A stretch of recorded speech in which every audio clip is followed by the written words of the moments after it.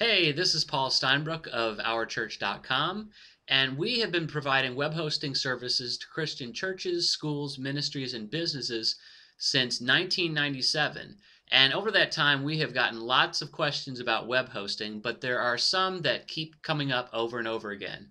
So, in this series of videos and blog posts, I'm going to answer many of those common questions. So, if you've got a question about web hosting, look down below and see if it's answered there. If not, go ahead and post a question in the comments and I'll answer it for you. Thanks a lot and have a great day.